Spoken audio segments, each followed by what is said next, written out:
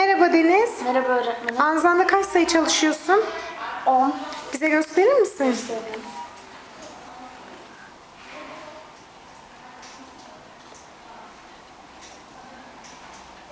Kırk sekiz. Tebrik ederim.